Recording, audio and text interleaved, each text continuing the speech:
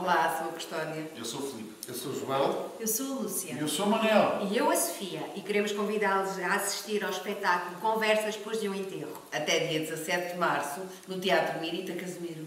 De quinta a sábado às 21h30. E domingo às 16 Os associados de Montepio têm desconto. Esperamos por si.